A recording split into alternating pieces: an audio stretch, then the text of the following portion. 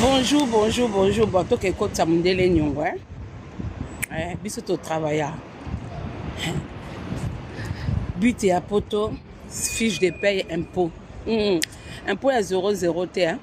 oyo oh, moto afai na ndako impôt ya kosala mm. na minite oyo motu to aza mwana poto objectif eza koluka cdi motu to aza installe na poto na minite oyo objectif ezala koluka cdi kofanda na ndako ya makambo ya kala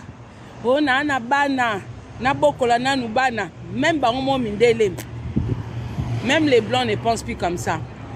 objectif ya moto oyo to akomprena poto na minito eza koluka cdi mm. biso kuna misala toomona meme baphilippienne bazwa koluka ba cdi bon la famille passons naye kaka komituna eh, comment bato oyo bayembaka na bango na f victime te baza sense koboma okese pourkui bokasi okese ya f victime ekufa mpo na bato moko baza ni chanteur eh, bayembaka na orchestre wana te me bakongolais toza mayele ko eh, toza mayele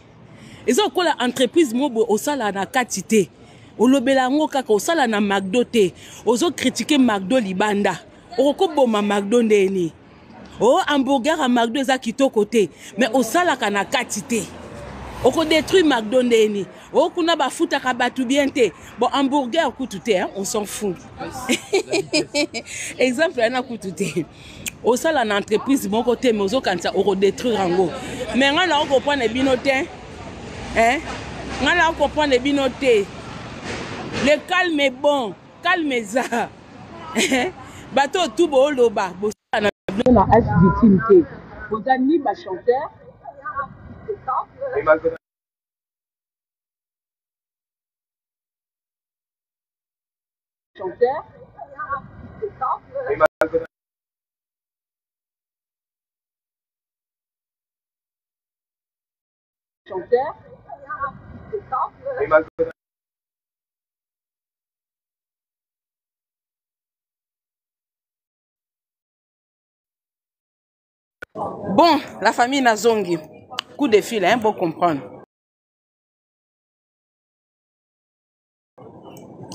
bon nga naye nalobaka mpo nga aza na nga warrior te eh? nga na nga mpe moto ya ftim te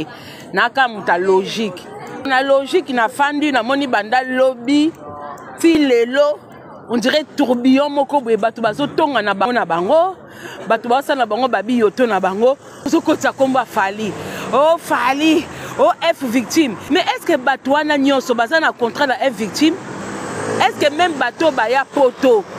na nkombo ya banana boduga na nkombo ya bayadi badiata est ce que baza f victime c'est ça qu'il faut faire c'est ça qu'il faut savoir est ce que baza est ce que kolongwa na bango ou kotonga na bango ekoki kodeséquilibre f victime nayebi te bacongolais bacongolais fo botokoma mayele hein?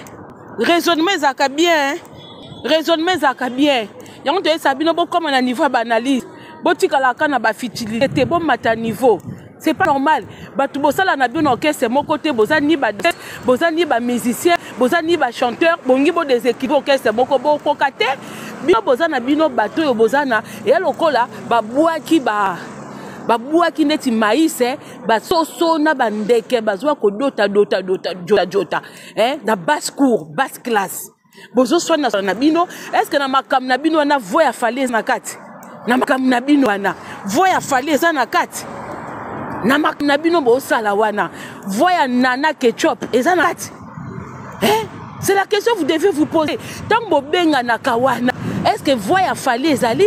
est ce que voi ya nana ketchup ezali est ce que voi ya marcosis ezali eh?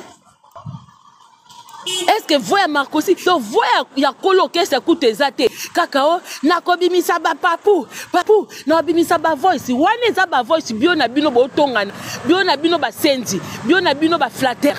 wana eza bio na bino bato to bolinga bopusana pembeni ya papu bato to bolinga papu alinga bino bio na bino basenzi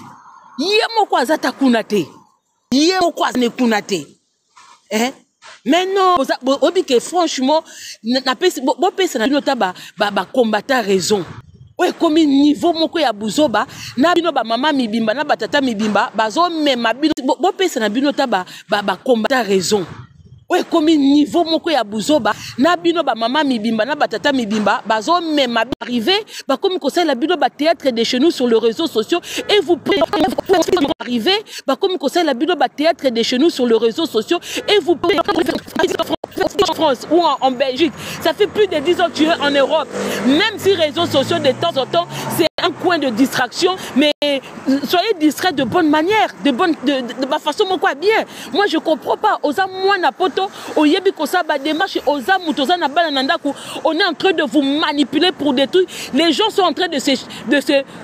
ya kotonga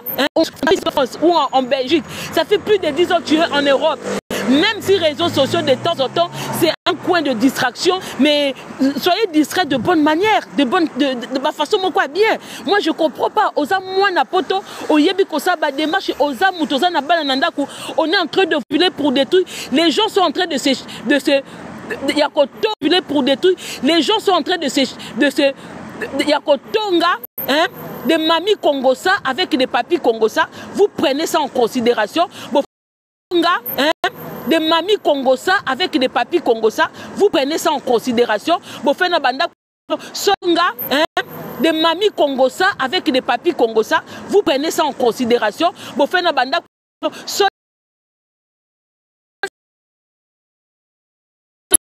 Nga, hein? de mami kongosa avec de papi kongosa vous prenez ça en considération bofai na banda so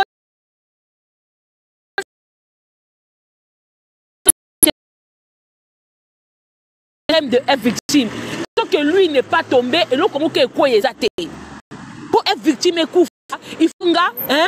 de mami kongosa avec de papi kongosa vous prenez ça en considération bofai na banda so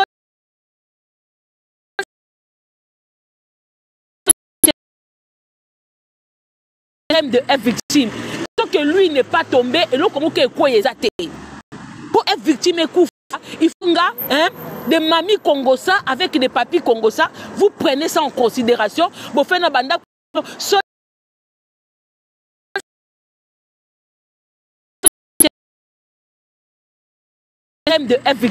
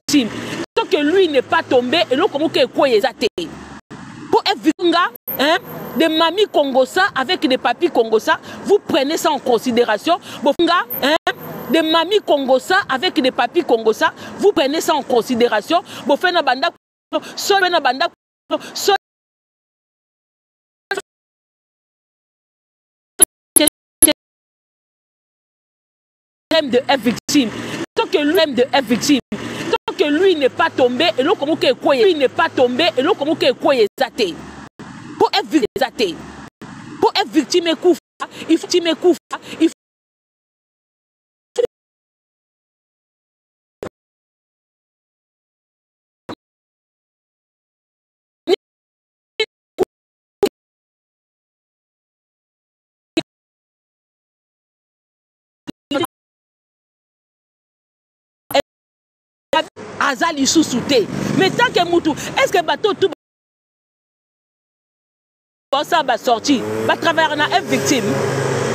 bato tout baosala basorti na bino wana banda bobandaki basorti na bino wana est ce que batravaillaka na f victime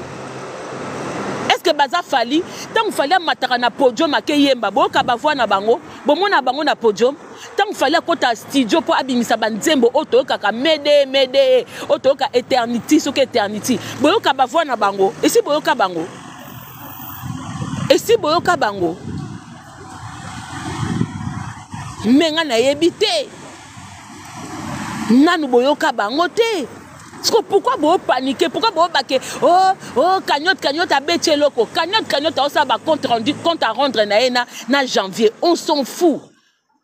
na bango tu wana moto aya poto na, na poche na aza te baya poto ya, ya, ya oyo bayokanaki baya poto ya ndenge nini moto aya poto na ndenge na ye aza te bango tu bamema bango bango tu bangulu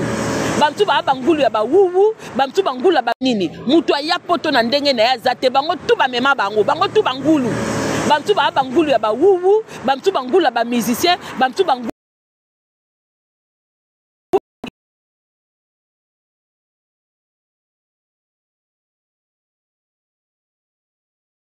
poto aza moto yaba meme poto akima na ye aza moto ya liboso ba meme poto achange combien de badanseuse baya poto bakima na bango combien de basi kutu mobali amebien na poto akonso moto ya liboso ba meme poto achange combien de badanseuse baya poto bakima na bango combien de basi kutu mobali amebien na poto akonso moto ya liboso ba meme poto achange combien de badanseuse baya poto bakima na bango combien de basi kutu mobali amebie na poto akonsome ye kutu te akimi na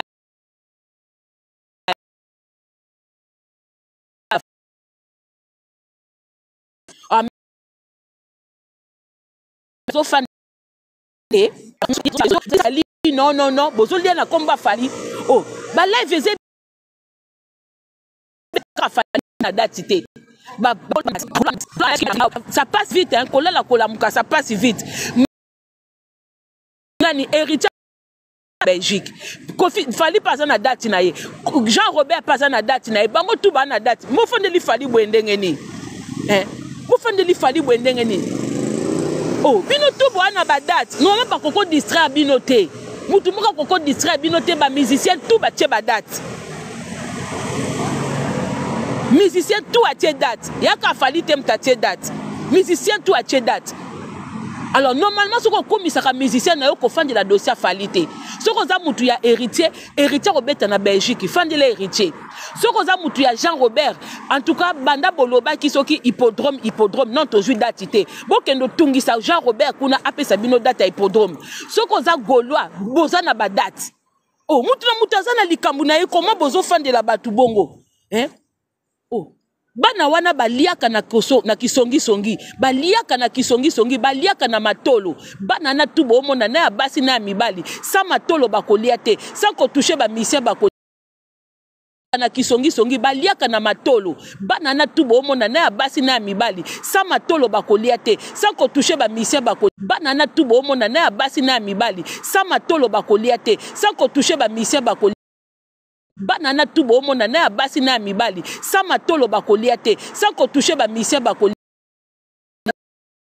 bana na tu bomona na ya basi na ya mibali sa matolo bakolia te sa kotushe bamisien bako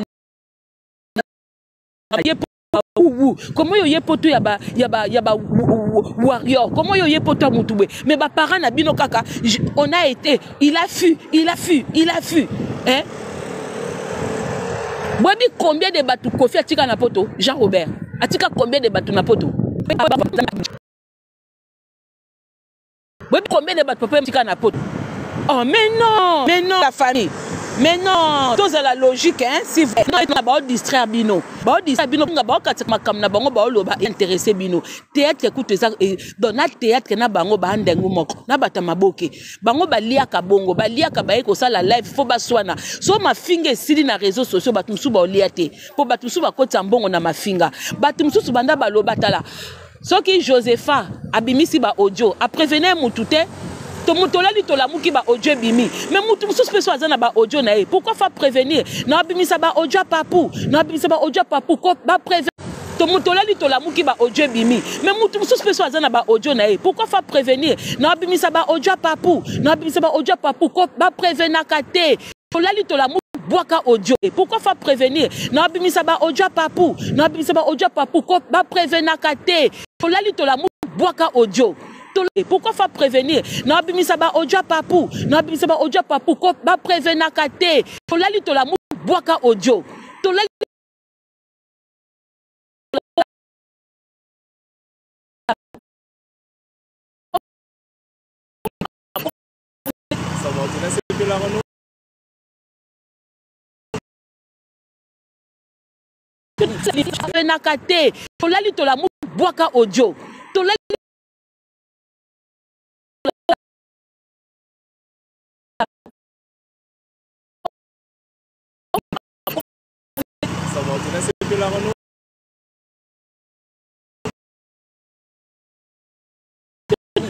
aza chef d'entreprise azo continuer ba carrière na ye aza na badate na ye soki bino bozoswana entre bino qu'est ce que ça va na groupe ya mutu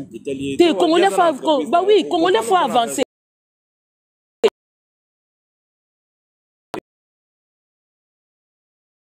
Pardon.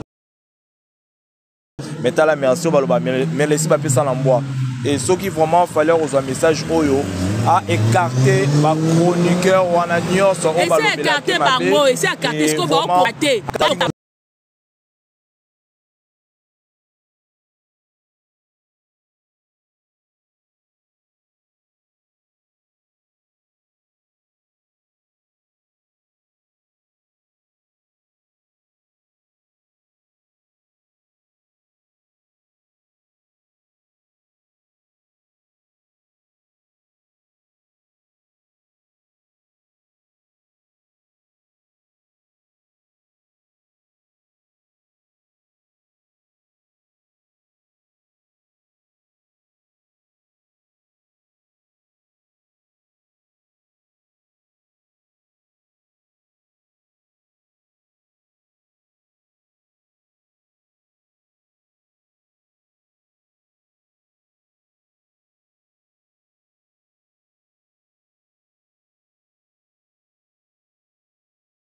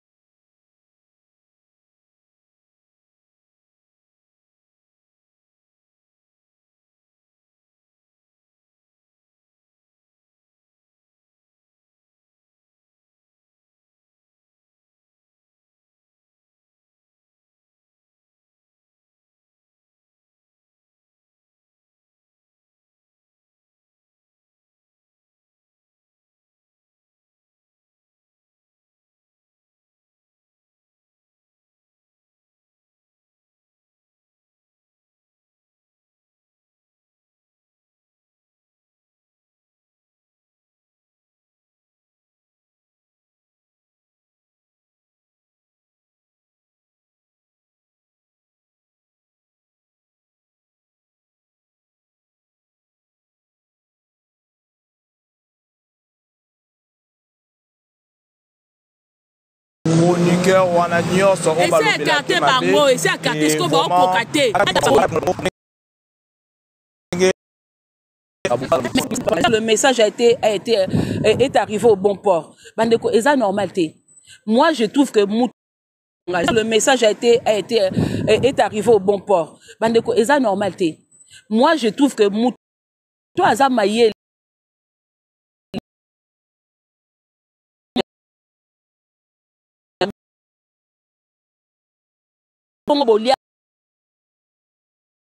port bandeko eza normal te moi je trouve que moto aza mayele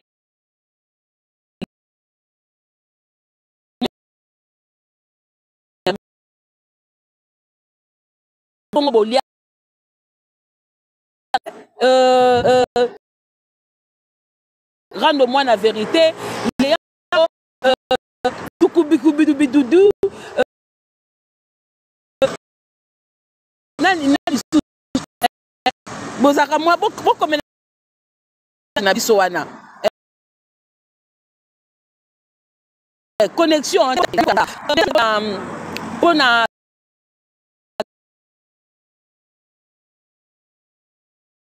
kisi njo mpo na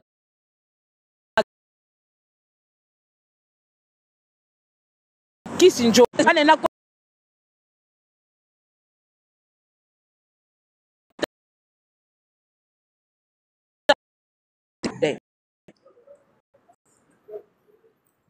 bon soki connexion sisi na nga est ce que boyoka nga naina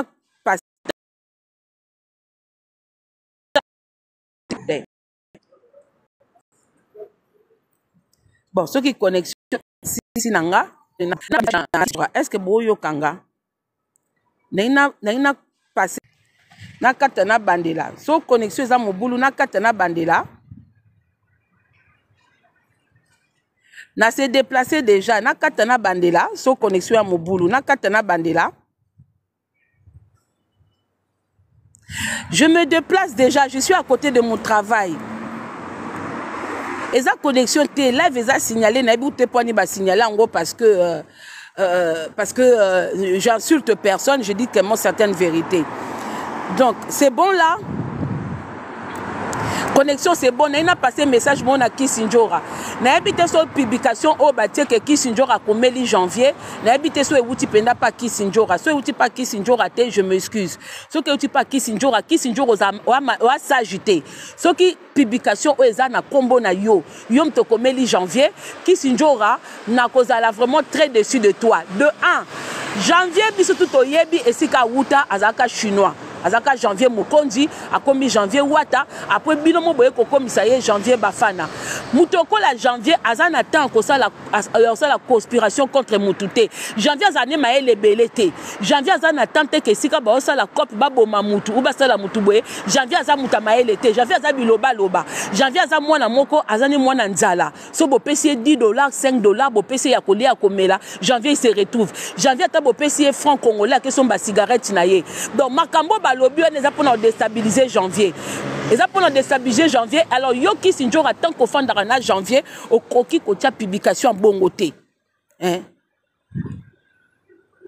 okoki kotya janvier te parce que janvier bazobebisa na bango ye poto te mpo moto amema janvier na poto aza te soki lelo fali alobi amema janvier poto ou bapapa edi badia to banana boduga eza mpo na mawa parce que kotala janvier boye santé médiocre vie ya pasi vie ya pasi janvier aza capable ya koteka mutu meme mpo na 2000 francs mpo na 2000 francs bino mwa bolati ye nkombo ya bafana alata na ye bankombo ya bato nyonso donc ntango baye kobaka o oh, janvier aza équipe nationale on en a rien à foutre pourquoi bopesa importance na makambo bopesa importance te donc makambo na bino bosala wana botika nkombo afali boya mitema mabe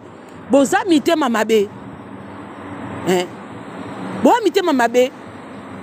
oh, likambo balobi est ce que moto okola janvier kokokanga réseau sociaux est ce que moto lokola janvier soki moto asali émission aye koloba nkombo ya janvier ke janvier aza ya biso kasi bango basala cope ya kotanga bankombo ya bato mpo bamema bango na bapototi sikoyo soki batangi nkombo ya janvier janvier zeya totanga nkombo na yo topesa bango défi mpo balongola defi wana baya no poto est ce que moto okola janvier akoki komema akoki kokanga réseau sociaux mais non bajanvier baza bano moto akoki ozwa ye mpe mwana mosala aye mpa motu na ntongo asokoli basani ake kosomba mapa ase boye bafuti ye mwa quelque chose ça fait c'est triste mais c'est la vérité eza triste mais komona janvier boye eza kozanga na bango bapossibilité janvier aza na bandeko na poto te janvier aza na bandeko na poto mais vie ya bato mosusu na, na congo eza na déséquilibre janvier aza na ye mwana moko alandaka sika mai ezotyola na minite oyo azo se retrouve na kolia epa kisi njora na ya komela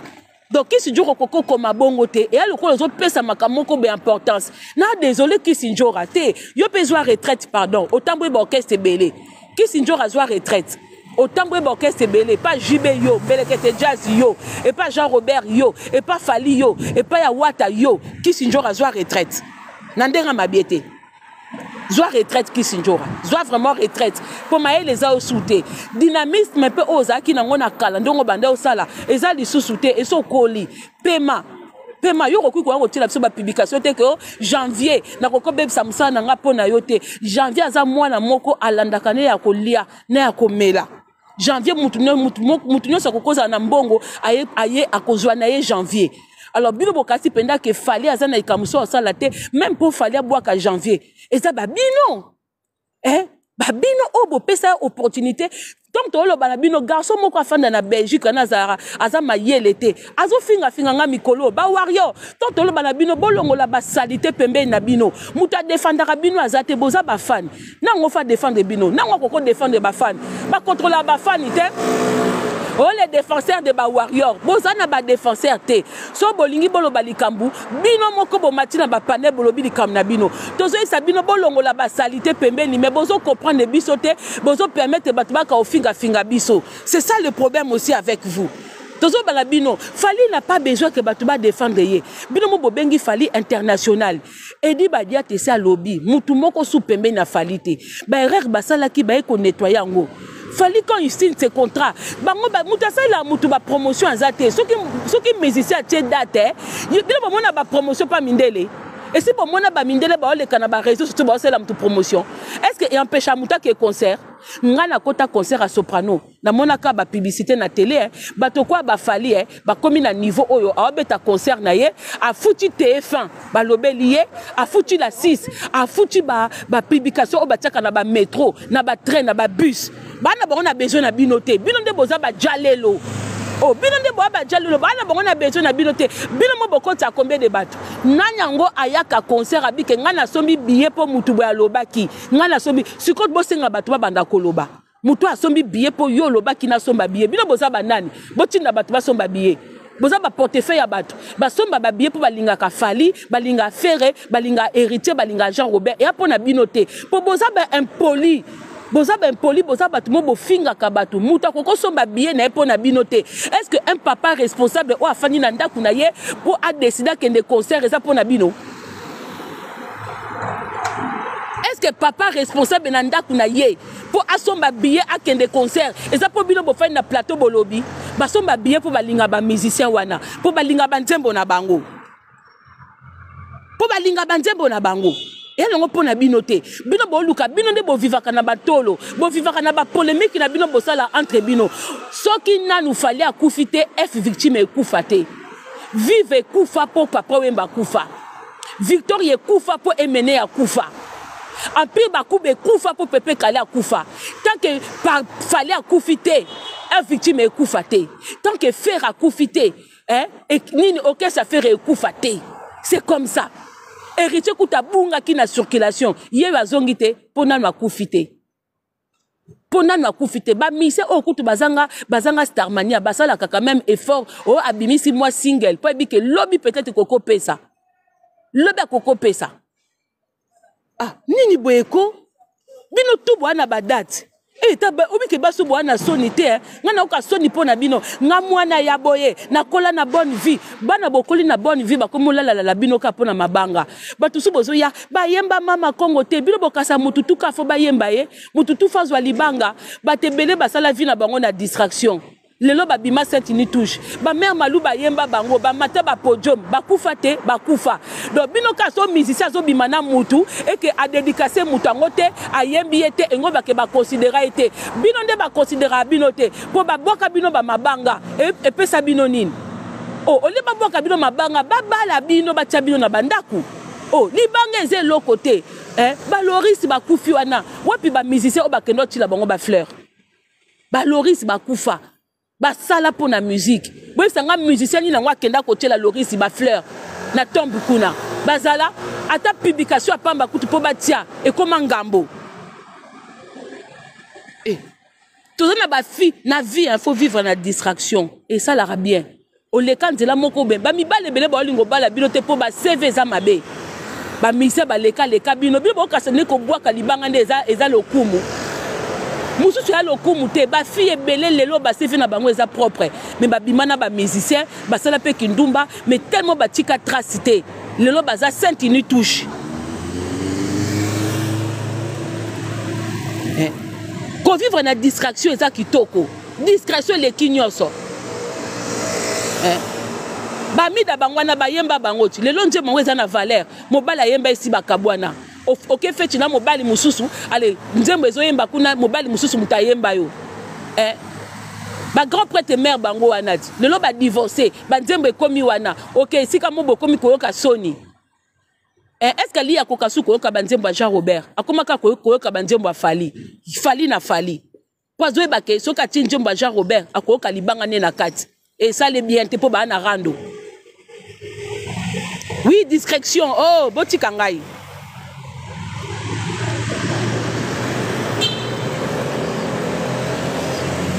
eh. donc a moment il faut arrêter bamakambo na bino bozosala na fali aza te oyo oh, naza na baaudio bozotonga papu e alors batonga ye batonga ete aza nani yesu kutu batonga ye epa ya ba 12 apotre boso batongi fali esala nini obatonga ka mutu bafandaka na ye ti soki ofanda na mutu te otonge otonge te ndeni otonge ndeni eh? soki ofanda na mutu te otonge nini aza mutu fo batonga ye